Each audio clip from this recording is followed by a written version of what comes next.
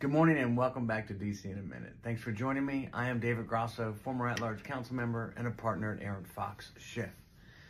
Today I'm focused on Capitol Hill where there is once again a threat for a government shutdown.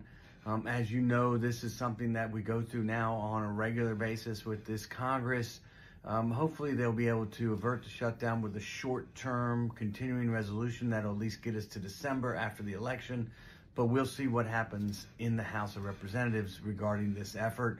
One note, there is a provision in the continuing resolution that allows the District of Columbia to continue to spend its money.